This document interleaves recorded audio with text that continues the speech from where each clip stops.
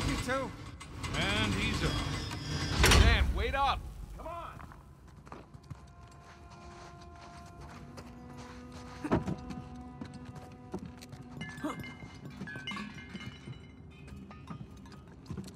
Ugh.